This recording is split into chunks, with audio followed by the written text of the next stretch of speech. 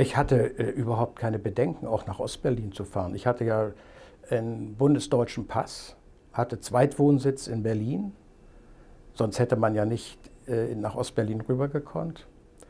Und äh, also für mich war das äh, überhaupt kein Problem. Ich hatte da keine Angst und äh, da hat mich auch nicht irgendwie die Vergangenheit eingeholt, also gar nicht. Sie haben schon gerade gesagt, hochspannend. Können Sie es noch ja, mal greifen? Das, das war natürlich, äh, das war von 1900, Sommer 1970 bis Sommer 1972. Das waren ja noch die guten alten Zeiten, wo die äh, Autobahnen äh, mal gesperrt wurden, wo Schikanekontrollen waren, meterlange Staus. Man stand also, wenn man mit dem Auto fuhr, stundenlang an der Grenze, was natürlich sehr unangenehm war. Auf der anderen Seite war es insofern spannend, man durfte ja nicht in die DDR als Journalist. Da musste man extra Antrag stellen beim Außenministerium der DDR.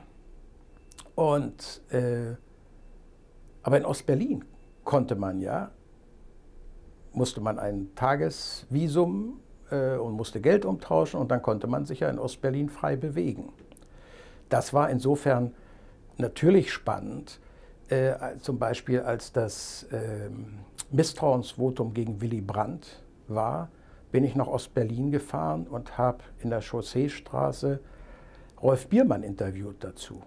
Das war schon sehr wir haben da vor kurzem noch mal drüber gesprochen. Der wohnt ja jetzt in Hamburg und wir haben uns durch Zufall bei einer Veranstaltung getroffen und äh, haben das noch mal wiederbelebt, diese Zeit.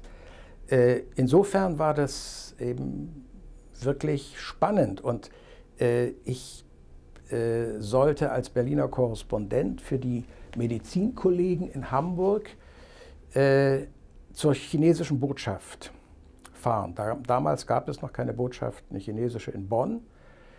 Und die Kollegen wollten eine Geschichte, eine große Geschichte machen über Akupunktur.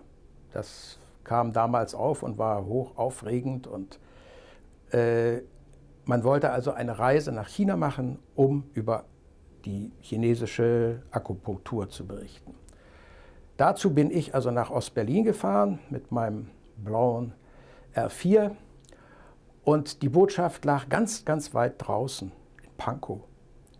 Also man fuhr die Frankfurter Allee, früher Stalinallee, und immer geradeaus, immer geradeaus. Und äh, ich fand das plötzlich so komisch. Es waren immer dieselben Autos hinter mir, drei Stück. Und dann bin ich davor gefahren, habe geparkt, die Autos waren weg, habe ich gedacht, naja, dann spinnst du wohl ein bisschen.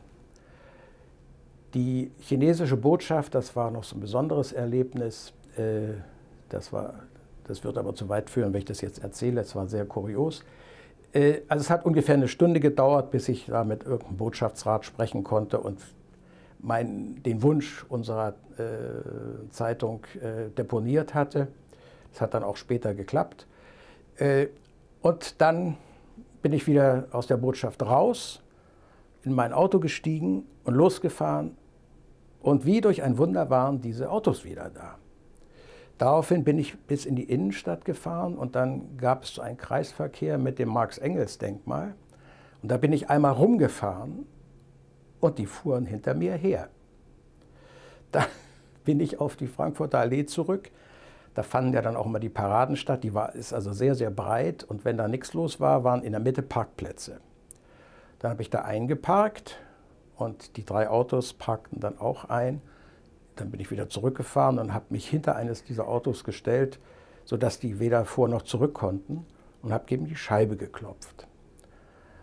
Und erst rührten die sich nicht und dann machte der Fahrer die leierte die Scheibe runter und sagte, was wollen Sie hier? Und ich habe gesagt, ich habe das Gefühl, Sie wollen was von mir. Ich bin Michael Seufert vom Stern.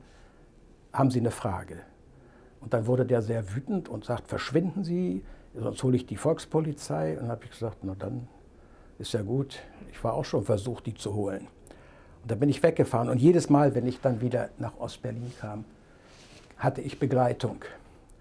Und die Dokumente darüber, die Berichte, die habe ich dann mal bei der Stasi-Unterlagenbehörde äh, eingesehen. Eine höchst kuriose Lektüre, mit was die Leute sich beschäftigt haben. Hatten Sie keine Angst? Nein. Bei der Sicherheit, ich bin ich Journalist, mit, oder? Ich habe äh, mit denen auch Spielchen gemacht. Ich bin denen weggefahren und so. Und bin immer zur russischen Botschaft gefahren, der sowjetischen Botschaft unter den Linden. Da hatte ich Kontakte hin, die besuchten uns auch. Und habe immer ge äh, gefragt, ist Botschaftsrat Sanikow da? Und ob der da war oder nicht, es dauerte immer so 20, 30 Minuten. Und das konnte ich dann nachlesen. Das kam denen so komisch vor, dass sie da bei der Botschaft nachgefragt haben und dann rausgekriegt haben, dass ich sie auf den Arm nehme.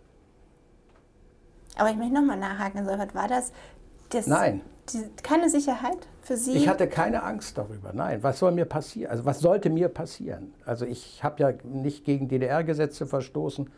Ich habe brav mein Geld umgetauscht, habe das meinem Bruder immer im Briefkasten gesteckt, wenn er nicht da war. Der war Sänger in Ostberlin. Äh, ich habe ja nichts gemacht, außer ein bisschen Frechheit.